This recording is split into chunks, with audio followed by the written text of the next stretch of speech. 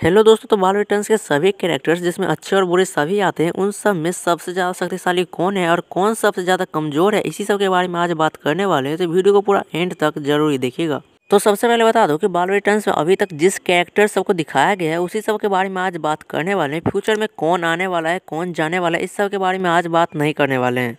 और कुछ एक्टर्स ऐसे हैं जिन्होंने एक से ज़्यादा किरदार प्ले किए हैं तो उन सभी कैरेक्टर्स के बारे में बात करने वाले हैं, क्योंकि आज का टॉपिक यही है, कौन कैरेक्टर सबसे ज़्यादा शक्तिशाली है? तो लास्ट नंबर यानी कि नंबर फिफ्टीन पे है डूबा डूबा जिसके पास कोई खास शक्तियाँ नहीं है, उसके पास अपना रूप बदलने और कहीं आने जाने की शक्तियाँ ही है। और ये शक्तियाँ डूबा डूबा से विमान बनने के लिए, जब विमान को कहीं जाना होता है, जब विमान अपने घर पर नहीं रह सकता है, तब डूबा डूबा को विमान बनाकर करुणा जी के पास भेज दिया जाता है। नंबर फोर्टीन पे है, तोबा तो और जदाली इस दोनों को एक ही पोजीशन पर रखने का कारण ये है कि दोनों की शक्तियाँ समान ही है। दोनों में से कौन कितना चालाक है और कौन कैसे अपनी शक्तियों का प्रयोग करता है, उसकी बात अलग है, लेकिन दोनों के पास समान शक्तियाँ ही है। नंबर थर्टीन पे है परियाँ। यहाँ पे सभी परियों की बात हो रही है और सभी परियों की शक्तियाँ अलग अलग है। लेकिन यहाँ पे सभी परियों में कौन जा शक्तिशाली इसकी बात नहीं हो रही है, इसीलिए सभी परियों को एक ही पोजीशन पे रख दिया गया है। और नंबर ट्वेल्व पे है विमान जो कि बालवीर का उत्तराधिकारी है वो नया नया बालवीर भी बना है। वैसे तो विमान को बालवीर की सारी शक्तियाँ मिल गई है, लेकिन वो बालवीर का चेला ही है आगे बहुत सारे ऐसे कैरेक्टर्स आने वाले हैं, जिससे विमान कमज़ोर ही है।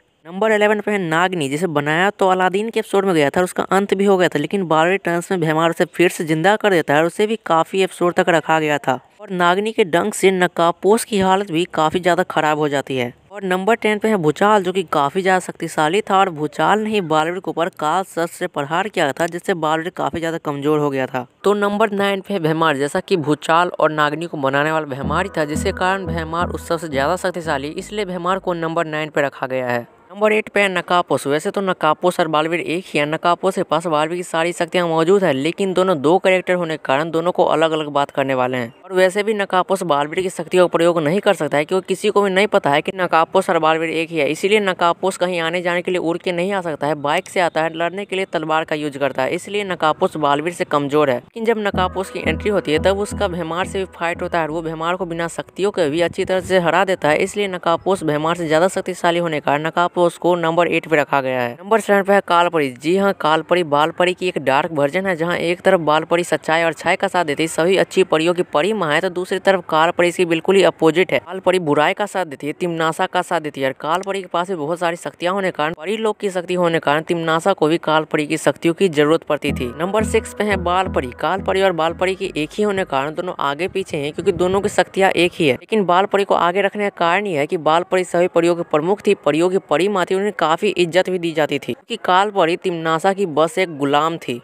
नंबर फाइव पे है बालवीर। जी हाँ बालवीर इस शो के मेन हीरो होने के कारण बालवीर के पास बहुत सारी शक्तियाँ हैं। तो जैसा कि आप जानते हैं कि पिछले सीज़न में बालवीर के पास बस सात परियों की शक्ति थी तो पहले की शक्तियाँ और अभी की शक्तियाँ में कोई कनेक्शन नहीं है। लेकिन मैं इतना ज़रूर कह सकता हूँ कि अभी बालवीर के पास पहले सीज़न से भी ज़्यादा शक्तियाँ हैं। और इन शक्तियों के अलावा भी बालवीर के पास बहुत सारी एक्स्ट्रा पावर है, जिसमें बालवीर का वीर कवच, बीका लोगो, हथौड़ा, वंश तत्व की शक्ति, मन से बात करने की शक्ति और आँखों से स्कैन करने की शक्तियाँ भी शामिल है, जो बालवीर को शक्तिशाली बनाता है। तो नंबर फोर पे अक्रूर। जी हाँ अक्रूर को आप कमज़ोर मत समझिए अक्रूर भी काफ़ी ज़्यादा शक्तिशाली है अगर ऐसा नहीं होता तो बार रिटर्न शुरू होने से पहले सभी प्रोमो में अक्रूर को नहीं दिखाया जाता। जैसा कि बार रिटर्न का फ़र्स्ट फीचर प्रोमो, जिसमें बार रिटर्न का मेन हीरो और विलन, यानी कि बारवीर और तिमनासा को ही दिखाया गया था, उस प्रोमो में इन दोनों के अलावा सौर्य और अक्रूर को भी दिखाया गया था। एक प्रोमो में सौर्य और अक्रूर का फाइट होते हुए दिखाया गया जो की अभी तक एपिसोड में तो नहीं दिखाया गया, लेकिन फ्यूचर में ज़रूर दिखाया जाएगा। इसलिए मैं कह सकता हूँ की अक्रूर कमज़ोर नहीं है। और उस प्रोमो में ऐसा भी दिखाया गया था कि सौर बारवीर को बुलाते हैं, जबकि तिमनासा अक्रूर को बुलाती है, क्योंकि अक्रूर कितना भी ज़्यादा शक्तिशाली क्यों न हो, लेकिन है वो तिमनासा सेवक ही, इसलिए तिमनासा अक्रूर से ज़्यादा शक्तिशाली है। नंबर थ्री पे है तिमनासा, जिसके शक्तियों का स्रोत है सर्वकाल, और सर्वकाल के पास अनंत शक्तियाँ हैं। तो आप में से बहुत लोगों के मन में कंफ्यूजन होगा कि तिमनासा थर्ड नंबर पे कैसे है, तिमनासा बारहवीं से ज़्यादा शक्तिशाली कैसे तो मैं बता दूँ कि सर्वकाल जब तक तिमनासा कैद में रहेगा, तब तक तिमनासा सर्वकाल से लगातार बार बार कंटिन्यूस शक्तियाँ लेती रहती है, जिससे तिमनासा शक्तिशाली बनती जाती है। इसी कारण से तिमनासा को थर्ड नंबर पर रखा गया है। लेकिन जब सर्वकाल तिमनासा कैद से आज़ाद हो जाए, या सर्वकाल तिमनासा दूर हो जाए, जिससे तिमनासा सरकार से सख्तियाँ ना ले सके तो तिमनासा बाकी सब की तरफ़ हो जाएगी और तिमनासा का पोजीशन नीचे आ जाएगा।